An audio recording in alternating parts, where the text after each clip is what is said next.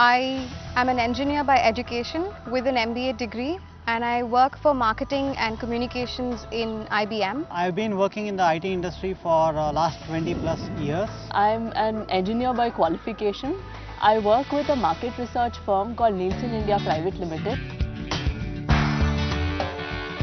Movies, lunch or just lazing around. These professionals could have been doing any of these things this weekend. But instead, they are here to discuss and review the future of young but disadvantaged boys and girls associated with them. They are part of Mentor Together, an initiative that aims to empower and give direction to underprivileged youth by providing them a mentor.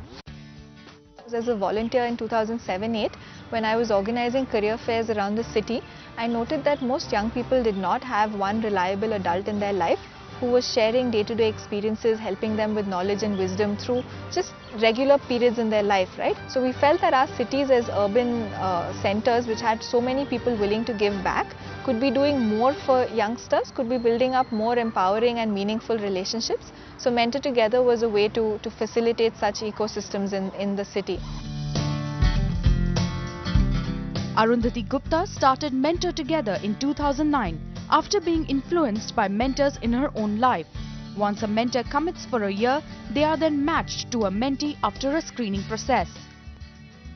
Uh, they go through at least uh, 10 to 12 hours of compulsory mentor training which we which we give out with along with uh, trained psychologists after that a mentor takes on a year long commitment of two to three meetings every month with their mentee. Mentor Together gives them curriculum on English, life skills, career planning, academic planning and sometimes even you know community problem solving.